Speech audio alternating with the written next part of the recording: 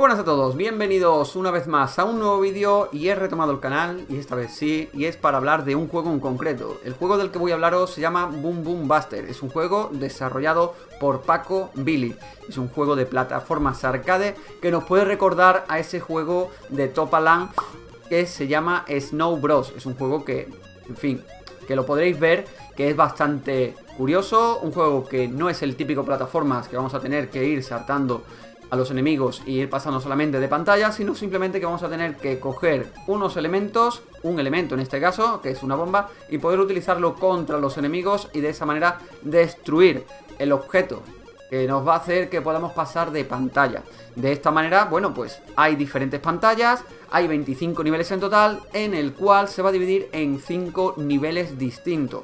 Esto, en este caso, este juego no tiene enemigos finales, pero sí que es verdad de que se revela una pantalla extra al final del juego.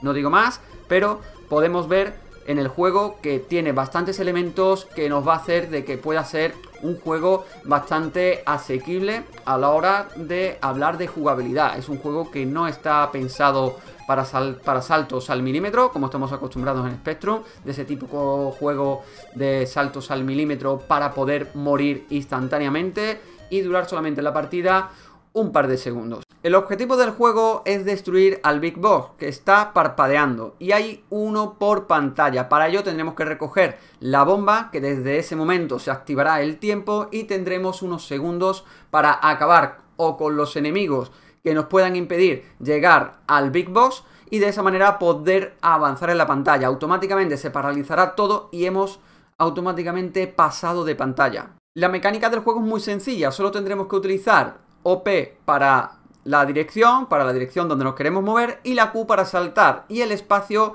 para cuando tenemos la bomba para poder utilizarla contra los enemigos. Una vez, repito, una vez que eliminemos el Big Boss, automáticamente pasaremos de pantalla. Respecto a la jugabilidad, tengo que decir de que tiene muchos movimientos libres, es decir, como he dicho antes, no es un juego en el que tengamos que estar saltando al milímetro y estando siempre agarrados a la plataforma con uñas. Pero no, no es así. Tendremos un margen porque hay pocos elementos en pantalla que tengan movimiento y todos los enemigos van a ser diferentes con respecto a cada uno de los cinco niveles distintos que hay. Entonces, bueno, las primeras mecánicas las vamos a poder controlar, pero en el momento en el que hay elementos como un balón de baloncesto, que al menos es a mí lo que me parece, pues tiene una serie de rebotes que es más complicado de que te puedas esquivar el golpe. Entonces, hay que jugar bastante para poder sacarle provecho a los momentos que ya sabes cómo va a funcionar, cómo se va a mover esa bola, o simplemente la estrella, que a lo mejor se mueve un poco más rápido de lo que otros, otros elementos se han movido. Por lo pronto, en lo que respecta a los movimientos, me parece bastante correcto, bastante interesante por el hecho de que nos va a dejar bastante margen de jugar. Entonces, bueno, no va a ser en la primera partida y, y no conseguirla pasar en el primer momento no va a ser así. Es decir, vamos a tener facilidades para poder pasárnoslas sin ningún problema.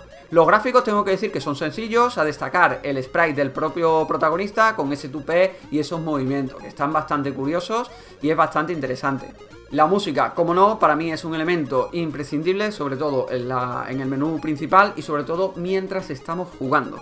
Es un juego bastante chulo que a mí particularmente me gusta. Y como sabéis que a mí no me gusta dar nota, mi valoración en este juego es bastante gratificante, bastante positiva y por lo tanto creo que es un gran juego sabiendo que está hecho en AGD. No quiero decir con esto que todos los juegos que sean en AGD sean iguales, ni mucho menos. Todos los juegos son totalmente distintos. Pero hay muchos de los juegos que a lo mejor quizás se pueda repetir entre ellos. Pero no, en este no es el caso. Este se puede decir que es un plataformas arcade, como ya he dicho al principio del vídeo, que nos recuerda muchísimo al Snow Bros a ese estilo de juego que es solamente por pantalla fija.